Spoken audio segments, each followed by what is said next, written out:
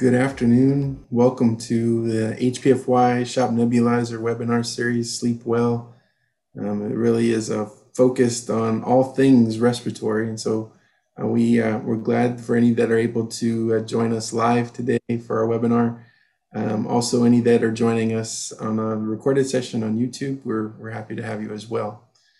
Um, this uh, series um, that we do monthly is really a, a, response to our customers reaching out and explaining and expressing that uh, they have a real genuine need for um, clinical content, content that helps them uh, navigate uh, their care.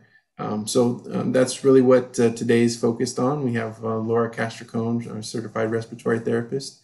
Uh, today, Laura is um, going to really kind of walk us through um, the world of nebulizers um, it's uh, really a topic that is top of mind right now with, um, you know, so many conditions that are, require the need for nebulization. So um, we'll, we'll kind of get right into it. Laura, it's good to be with you again. Thank you. It's good to see you, Justin. So, um, Laura, um, you kind of helped us chart today as far as the theme for the day. So, what really is um, nebulizer treatment? So, when someone needs a nebulizer treatment, what we're actually doing is we're taking a liquid medication, putting it into an apparatus that air flows through from a compressor and aerosolizes or makes that liquid medication into an aerosol so you're able to breathe it in. And the particles are broken up so small of the medication that they're able to deposit in the lower portions of the lungs. So that way, and most of the medications are what we call bronchodilators. So they actually increase the caliber of the airway and open up the small airway sacs. So, a nebulizer treatment, also known as a breathing treatment, a lot of people call them breathing treatments, uh, is usually using um, some sort of medication. You can either take it via a nebulizer, or we also have people that use inhalers or MDIs, meter dose inhalers. And they're something that you can take and they're portable, so you can take them to go. Nice. So, um, now that we kind of understand what uh, what nebulizer treatment is, who who requires it? Who needs to to be on a nebulizer? Well, most of the population usually it's driven by your disease. So the majority of patients that we see that need nebulized medications have what's called COPD or chronic obstructive pulmonary disease. And under that umbrella are three main disease states the first one is emphysema, which most people get from smoking. Um, that's like 98% of the, the population get it from smoking if they have emphysema or being exposed to chemicals, smokes, and things like that on a daily basis, or even fumes. We've seen people that are exposed to diesel and gas fumes actually in the as well. Asthma is another big one, and that's what we're seeing a lot of now, especially with this in Connecticut the air is very heavy and dense with humidity. And when the air is heavy and dense with humidity, it not only is heavier, harder to breathe, but it contains more particulate matter.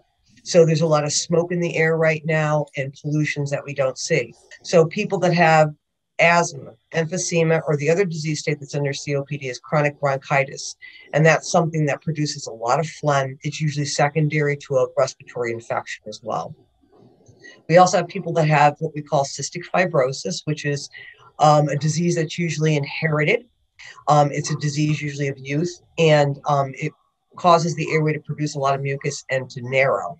So a lot of times those patients will use bronchodilators as well as other adjunct therapies such as oxygen. We have a vest that beats against their chest to kind of break up some of that mucus congestion. Um, and the other patients that need it usually have are post pneumonia. And that's what we're seeing a lot of with the COVID patients that's going home and being asked to use a nebulizer once they're reduced from the hospital, or if they've been exposed to it, and it's giving them a lot of airway problems. A lot of times they'll be given a nebulizer to keep that airway open. And that's basically what the bronchodilator does is it dilates the airway. There are a couple other drugs that they use in it. Medications such as mucolytics, which are something to thin out the mucus. So if somebody has very thick, thick mucus that they can't cough up, and we see that a lot with cystic fibrosis, then um, they'll usually are given a mucolytic as well to help thin out that um, thick mucus. But most of the disease states um, are COPD, which has got the asthma, the emphysema, and the chronic bronchitis. our cystic fibrosis patients, post pneumonia, and a few other diseases. But just to let you know, with pneumonia, if you are a Medicare patient, in this country, in the United States, Medicare pays for medication that's used through a nebulizer, through a compressor, but they won't pay for a meter dose inhaler a lot of times. So a lot of times I'll encourage patients to get nebulizer treatments because it's one thing where the medication at least is covered for that. But unfortunately, pneumonia is not in their diagnostic coding for them to pay for it. So we see a lot of patients that need nebulizer treatments that have pneumonia, but the cost is not being absorbed by their insurance. Yeah, and that's really where uh, health products for you, shop nebulizer, we can right. come in, um, assist in, in getting those for uh, for customers. So, so um, that's very helpful to, for us to kind of understand the the whole um, need for nebulizers. So some confusion though. Sometimes we get questions from from from our customers calling in and one of the things they they're trying to understand is the difference between a neb and an inhaler. So can you help us with that difference? Sure. So a nebulizer as i said you you're using a liquid medication and aerosolizing it. With a meter dose inhaler or an inhaler as we call them it's a little canister of medication that's already been broken down to small particles and they use a propellant in it and you would shake it up and you have to have good technique. You would release the medication and inhale it. The difference between the two as far as medication is negligible. It's the same medication. If you're using albuterol in a nebulizer they can give you also albuterol in an inhaler. The difference is first of all nebulizer treatment is passive. You can put that mouthpiece in your mouth or the mask on your face and just breathe on it. With an inhaler, you have to have very good technique because remember, you have to actuate that canister of medication and inhale at the same time to get most of it in your airway. And we find that a lot of patients have poor technique with a, with a meter dose inhaler, and a lot of the medication ends up in the back of their throat or on the back of their tongue, and that's not very helpful to the patient. So we see them abuse their meter dose inhalers because most of the medication is not getting deposited into the lungs. So what I do encourage patients to do is doesn't mean you shouldn't have an inhaler. Inhalers are great because they're portable. They don't require electricity or a battery to operate. You could throw it in your pocket or your purse or in your car and have it in case of an emergency. They're great if you have children to keep at school and things like that. But like I said, technique is everything with a meter dose inhaler. Um, they're both great, but my preference, if you're having a chronic problem or even an acute problem, would be to use a nebulizer because we know you're going to get all that medication, just breathing on the treatment. The particles are nice and small. They're going to go nice and deep into your lungs. And you're going to, that's the gold standard of treatment. With the inhaler, it's kind of a, even though it's the same amount of medication, we're not sure how much you're actually getting because not a lot of it is actually getting into the airway. Yeah, but so- I encourage patients, if they can, to get both. Use your nebulizer when you're home, the compressor, and then take your meter dose inhaler with you on the go in case you're you know out walking and you have dense air like today and you're having a problem. We also call that a rescue inhaler that you could take. Yeah. So so so many options. And again with nebulizers being an affordable um, option as well it's it's a nice standard of care that is easily accessible to all of us. So that's, that's the other thing i want to mention too is that PARI makes a nebulizer kit that's reusable so for mm-hmm. our patients that are concerned about disposables or for our Medicare patients, a lot of times those are covered. So the PARI nebulizer, it what's nice about that, especially for pediatrics, is it nebulizes a lot more quickly. Um, you still get the benefit of a nebulizer, but you're not sitting there for 10 minutes. You're only sitting there for maybe five minutes. So it cuts the time down in half that it takes the treatment to uh, use. And then you can also put it in the top rack of the dishwasher to wash it, which is huge because we want to keep it clean. Yeah, yeah. So um, we we may have some that are attending or going to be watching that that are a, they they have a nebulizer compressor. They they have a system set and ready to go. Um, how often should those parts that they that are on the unit um, because the the units are durable, they're going to last a good a good long time. But what about the parts? How often should those be replaced? So, the, generally speaking, a lot of this is driven by the governing bodies that watch over hospitals and Medicare and how they supply things. The general consensus is that you should replace your, your nebulizer medicine cup every every two weeks. Now that doesn't mean you should be using the same one every two weeks. I advise patients to have at least two, so they could be washing one and have one be washed uh, while they're using another. So they always have a clean one ready. Um, otherwise, it needs to be laundered, you know, washed in between each treatment and I always advise patients never tr- to try to dry it because you can leave paper fibers or towel fibers in there and you'll inhale them on your next treatment. Um, the tubing that comes along with the nebulizer kit comes with it, and I advise patients to throw out their old one and put a new one in. One thing we should not do is you don't need to wash that connecting tubing remember the airflow comes out of the compressor and goes into the nebulizer so nothing's getting back and it shouldn't have any bacteria in it. And washing it can cause you to grow some mold in there because the water doesn't come out. So the nebulizer kit with the tubing the mouthpiece or the mask whichever way you're using it should be replaced every two weeks. Uh, the, the filter in there that's kind of a that's that could be every month it depends on the condition of the home. I've seen the filters that go inside the nebulizer compressors last months, and I've seen in houses where there's a fireplace being used or people smoking that that filter gets used up really quickly. So I always advise patients if they can when they purchase their nebulizer supplies to get some extra filters because it's inevitable that all of a sudden you check and it's dirty and then now you got to wait for one to come. And it, the reason that you want to change that too is it will make that compressor overheat because mm. the airflow can't properly go through the, the, machine. And they're meant to be durable, they're meant to last a, a, while. So every two weeks, you should change your kit with your tubing, the mouthpiece, and the mask. And then your filters, I can't say for certain, but it's usually monthly with most house, households, but it could be more frequently or less frequently, depending on the, the tidiness of the home. Yeah. Okay.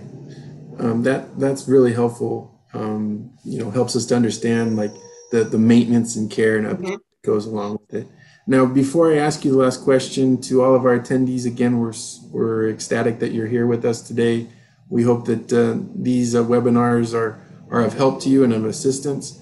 Um, one um, one thing in a few moments here, we're going to have an opportunity. If you have any questions with regard to respiratory, um, that could be um, sleep or, or um, oxygen um, your use of CPAP, the use of a nebulizer. If you have any questions um, that maybe you have some that you're facing some challenges with your care on, um, please use the um, Q and A section, and we'll we'll go we'll go through those, and we'll have Laura answer any of those questions. And um, we we want to be a resource for you. Um, so any questions that you have, please feel free to use that Q and A section. Now, Laura, just kind of to wrap up, we're, we've uh, really appreciated this time talking about nebulizers. Do you have any particular tips that stand out for uh, nebulizer patients? Yeah, so basically, first and foremost is make sure you use your medication as, as prescribed by your physician. And when you're in, if you're in doubt, call the pharmacy about how often you're supposed to take it or call your physician usually you can probably reach the pharmacy easier and they'll explain to you the directions. But if you're really concerned about the medication and what it's supposed to do, have a conversation with your medical your medical provider. It's nice to understand what your medications do as well. Is it am I supposed to feel less short of breath? Is my wheezing supposed to stop when I take this? What am I supposed to feel? Am I supposed to be coughing up mucus? This much mucus supposed to come up? Those are questions you can ask the provider as well. But it also will tell you on your medication box what to expect from that medication and what to do. The other thing is you should never share your medication, obviously, with other patients um, because we don't know, even though most medications used in nebulizer, we give to pediatrics, we give to babies, newborns. We don't know if somebody has a cardiac problem and it might disturb their heart rhythm. You don't want to be giving medications like anything else to, to someone that doesn't shouldn't have them.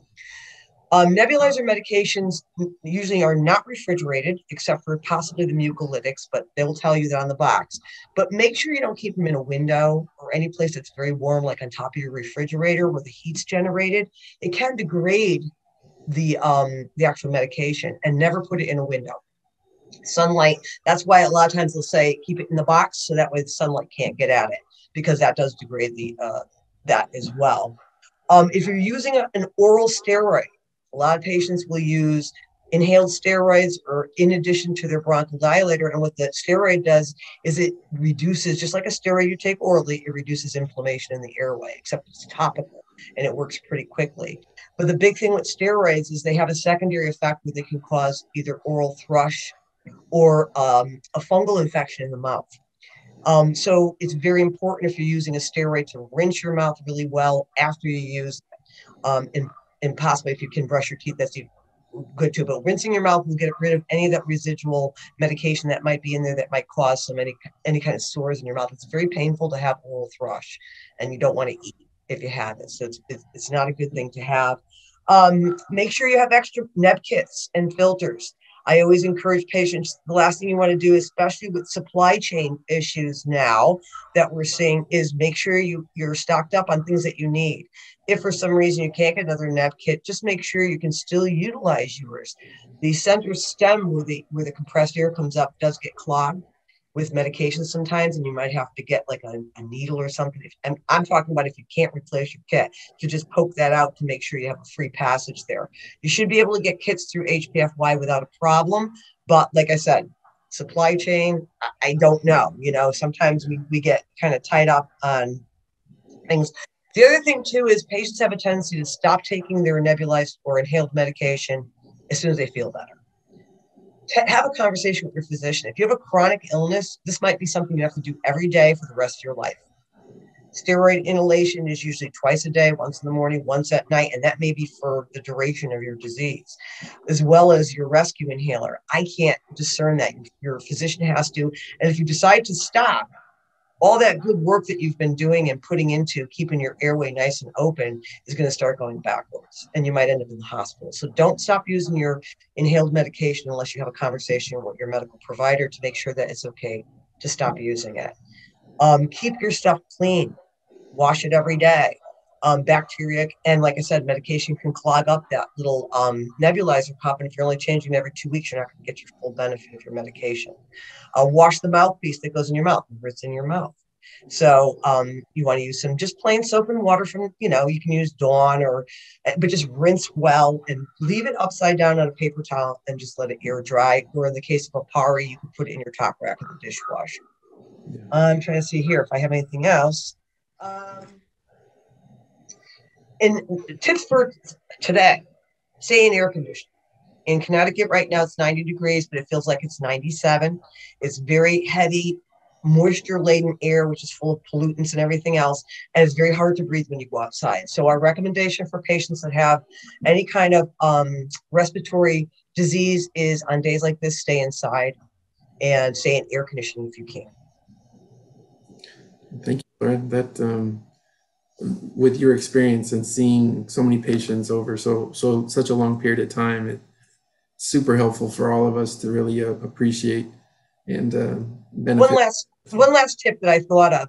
Um, we, this is something we used to encourage. If patients are taking their treatments m- more frequently than this order, so in other words, the doctor orders it every four to six hours, but you find that you need to take it every two hours because you can't breathe, that's inappropriate that means that you need to call up your doctor or you may have to go to the emergency room. If you're needing treatments that frequently, pretty soon it's going to get to the point where they're not going to work at all and you're going to need to get some medication on board that they have at the emergency room. So if you find that that's happening, that's a call to your doc.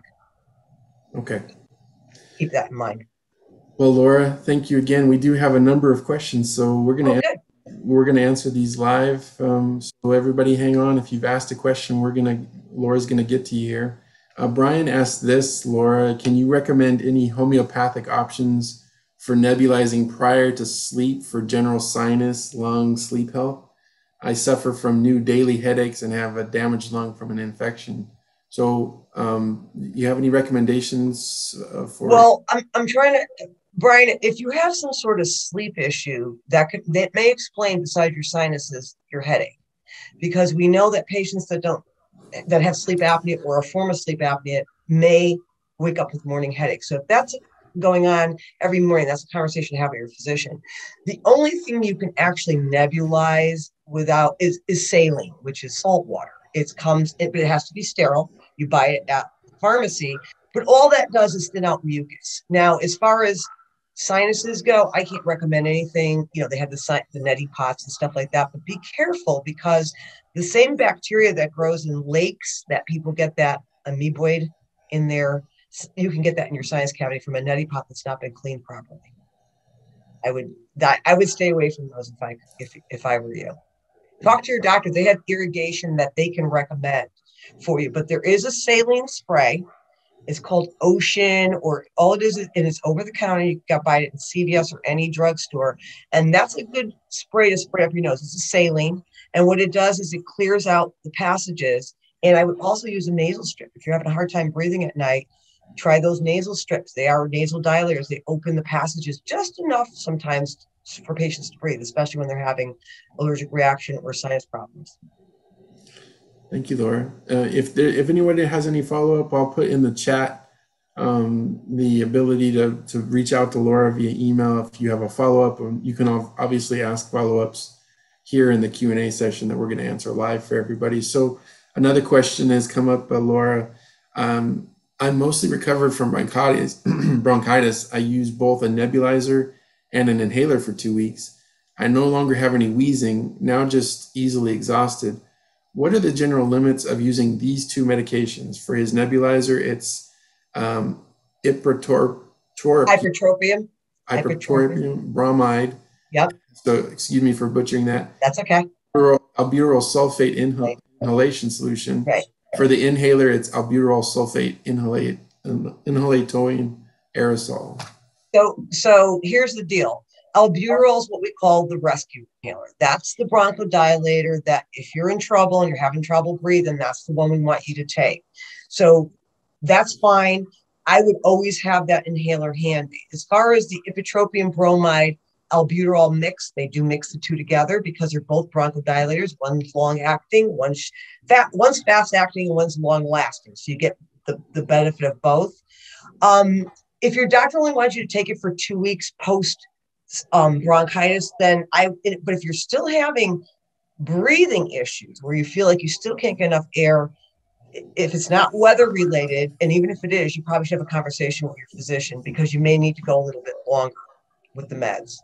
But I don't like to violate anybody's prescription because I don't know you and I don't know what they prescribed it for. If you have any other underlying conditions that could make this flare up more frequently, but yes, I would, I would, if you there's no long-term effects of taking those medications. We have patients that take those medications years and years and years and years.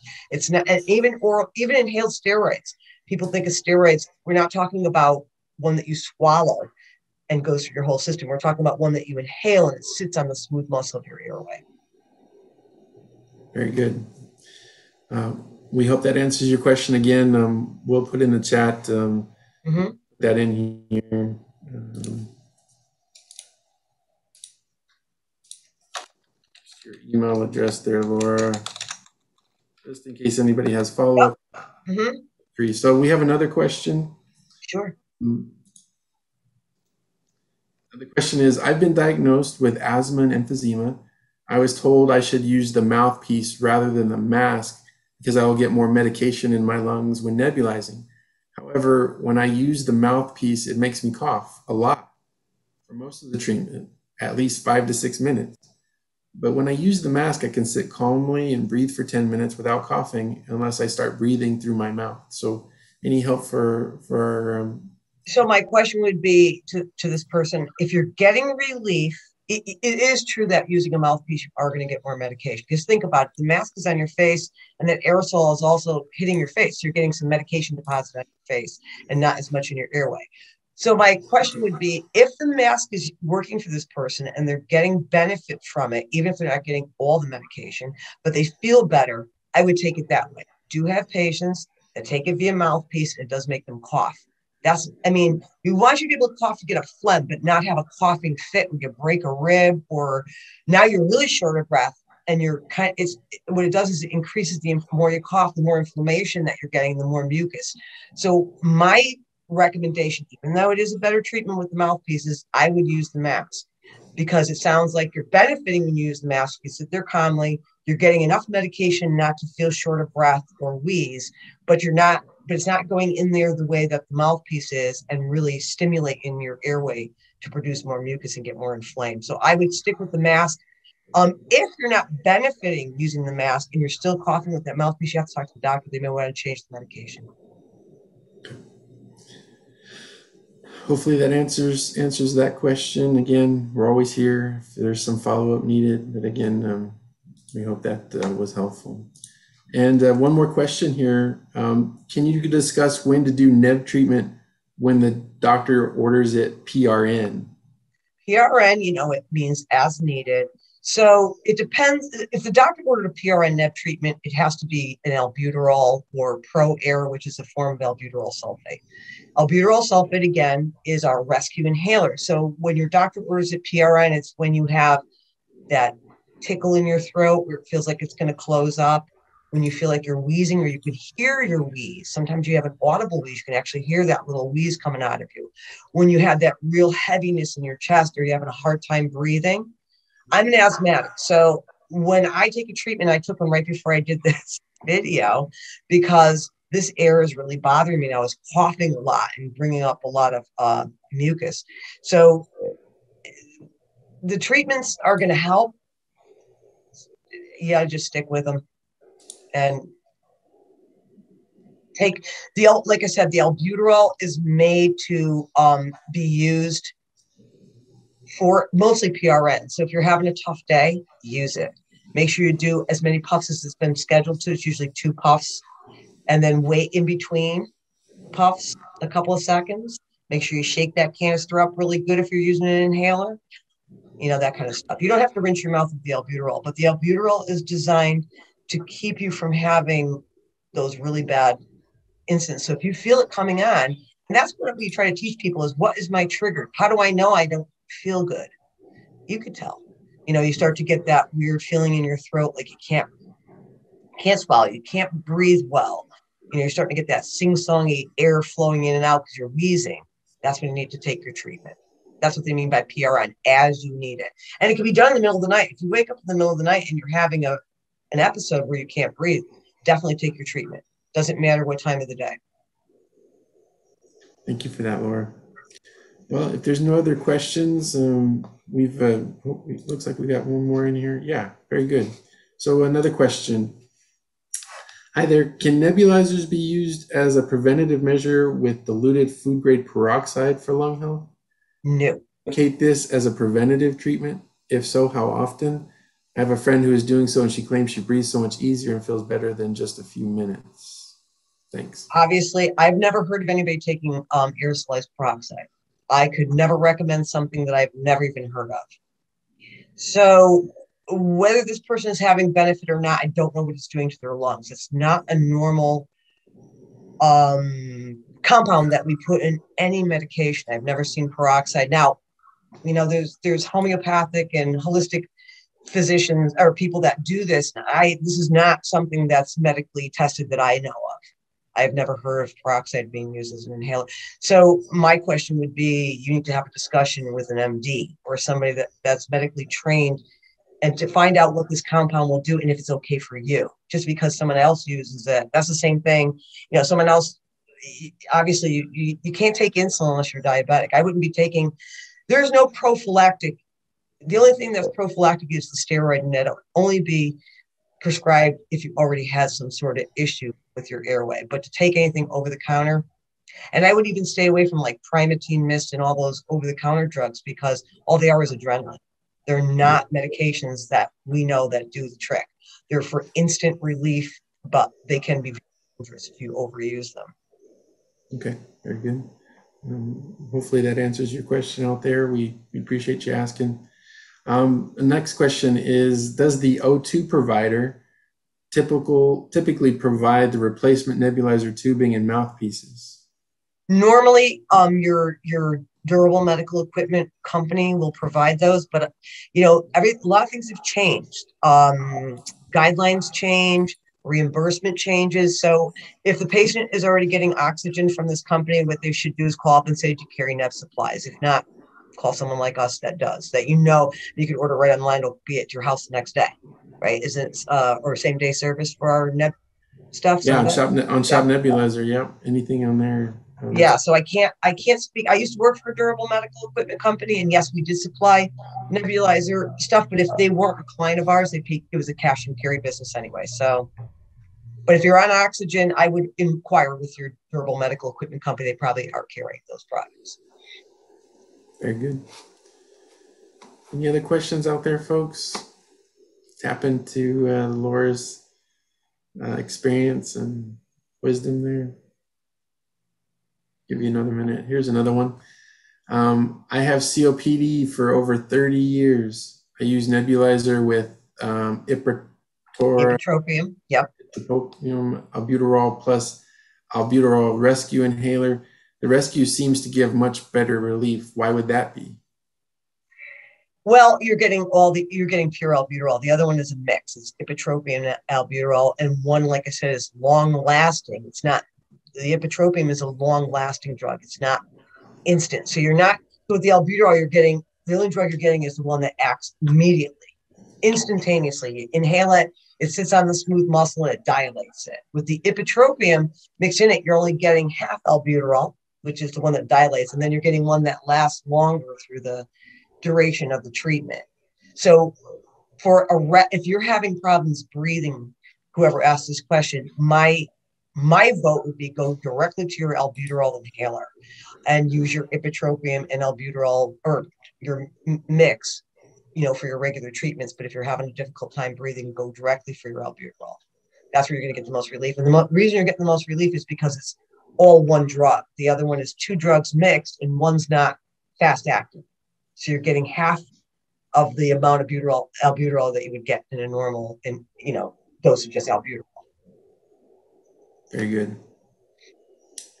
Give everybody another minute or so to ask any other questions. Really appreciate all the questions. Hopefully, Yeah, this was great. yeah, hopefully the answers have been helpful. Just be on the lookout for your kids. There's a lot of RSV around, which is the respiratory syncytial virus. It's early this year. It usually comes out in late fall and winter, but we're having it all summer. So we've seen a lot of kids get hospitalized for it, and we've seen a lot of nebulizer treatments for viruses like that as well AIDS. As always, uh, Health Products for You, Shop Nebulizer, we're available um, uh, all throughout the day. Um, you can reach us in a variety of ways via our websites. Uh, again, healthproductsforyou.com. We we use the short form hpfy.com just as a vernacular, but um, uh, as well as our shopnebulizer.com uh, website. Always available. If there's anything that you need, you can reach out to us there. Laura's email address is available. Um, so we welcome uh, any any questions, concerns you may have. Please reach out to us. Again, if if you have any um, recommendations for future topics, maybe a, a respiratory issue that uh, you have dealt with, maybe we can add that into our future Absolutely. series. Mhm. So yeah, we want to be as responsive as possible to to all you who um, are shopping with us and, and reaching out to us as a part of the care continuum that uh, Health Products for You is, is a part of. So if there's nothing else, um, no other questions, we'll uh, we'll go ahead and let everybody get back to their day. Again, thank you very much, Laura. Thank you. And thank you, everybody. Those were great questions. I think that um, a lot of people asked some great questions yeah, great questions today. You know, fantastic. Okay, everyone, have a great day.